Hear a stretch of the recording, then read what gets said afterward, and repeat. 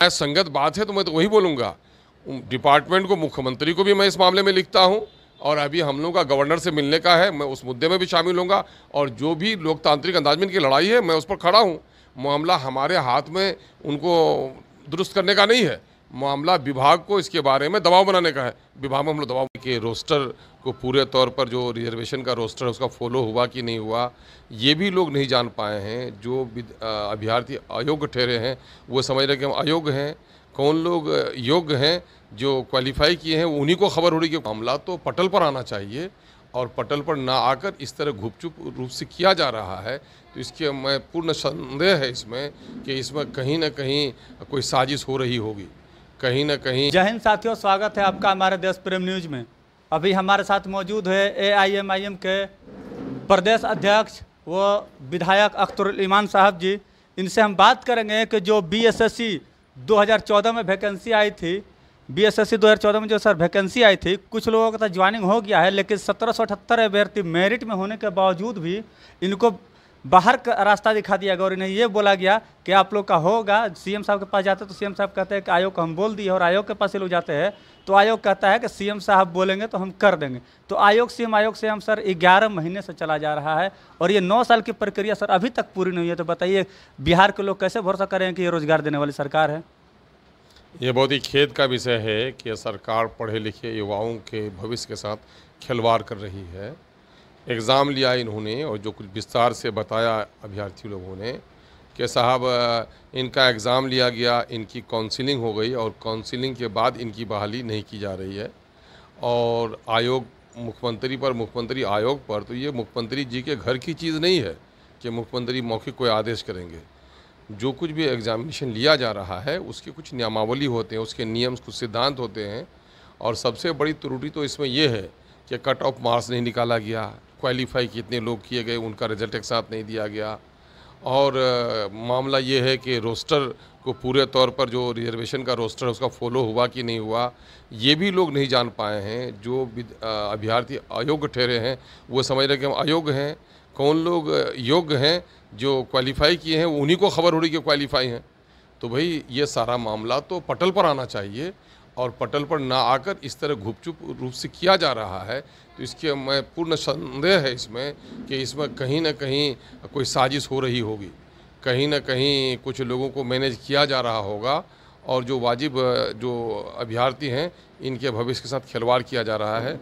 हम लोग इस मामले को देखेंगे और उचित माध्यम पर इस बात को उठाएँगे भी कि भाई इस वक्त जबकि बिहार में लाखों वैकेंसियाँ हैं और सरकार दस लाख से ज़्यादा लोगों को रोज़गार देना चाहती है तो ऐसे योग्य उम्मीदवार जिन्होंने एग्ज़ाम दिया है उनके साथ ये खिलवाड़ क्यों हो रहा है? ये देखने योग्य चीज़ें हम लोग इसको देखेंगे ज़रूर। तो सर आदिल हसन जी आपके जो प्रदेश प्रवक्ता है और युवा प्रदेश अध्यक्ष हैं उन्होंने सत्रह सौ अठहत्तर अभ्यर्थियों को ये आश्वासन भी दिया था कि हम सर से मिल करके बात करेंगे और सर जल्द से जल्द गवर्नर के पास जा करके इस बात को रखेंगे। नहीं मामला ये है कि हम लोग विभाग के मंत्री को भी ये बात लिखेंगे अपना ख़त लिखते हैं।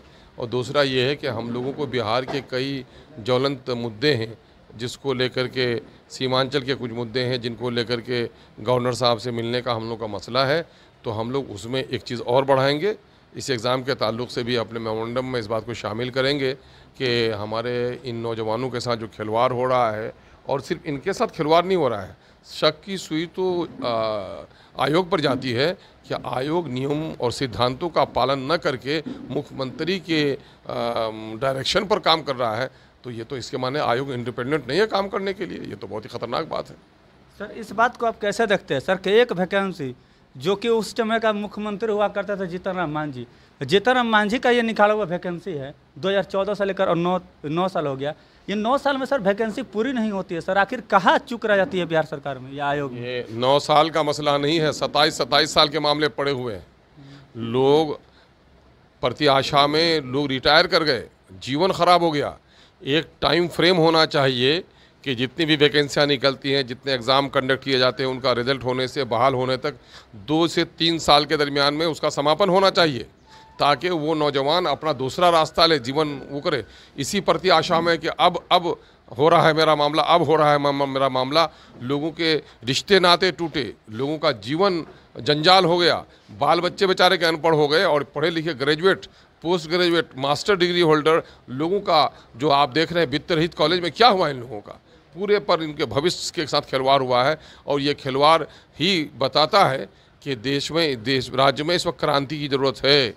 ये बेरोजगार लोग, ये शिक्षित लोग, ये पीड़ित लोग, इनको संगठित होकर उठने की ज़रूरत है। ये सत्ता सिर्फ़ कुर्सी में बैठने और अपने सत्ता सुख के लिए लोग बैठ रहे हैं।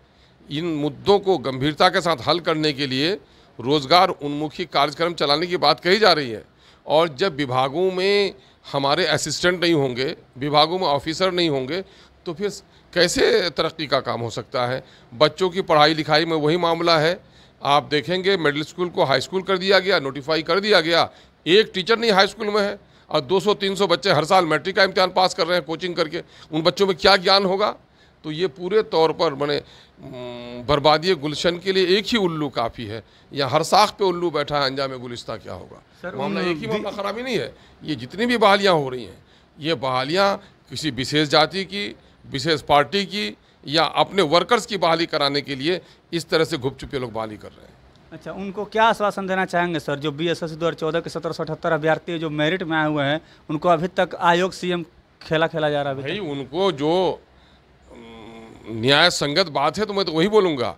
डिपार्टमेंट को, मुख्यमंत्री को भी मैं इस मामले में लिखता हूँ, और अभी हम लोग का गवर्नर से मिलने का है, मैं उस मुद्दे में भी शामिल होऊँगा, और जो भी लोकतांत्रिक अंदाज में इनकी लड़ाई है, मैं उस पर खड़ा हूँ। मामला हमारे हाथ में उनको दुरुस्त करने का नहीं है।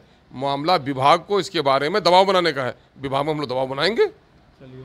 तो धन्यवाद तो आप सुन रहे थे ए आई एम आई एम के प्रदेश अध्यक्ष व विधायक अख्तरुल ईमान साहब को इन्होंने बताया कि हम आयोग पर दबाव बनाएँगे और गवर्नर साहब से भी मिलेंगे और सीएम साहब से भी मिलकर इनकी बातों को पुरजोर तरीके से उठाएँगे। तो साथियों, आपकी क्या प्रतिक्रिया? कमेंट में जवाब ज़रूर दें। अगर आप हमें यूट्यूब पर देख रहे हैं तो सब्सक्राइब करें और फेसबुक पर देख रहे हैं तो शेयर करें। धन्यवाद। आप देख रहे हैं देश प्रेम न्यूज़।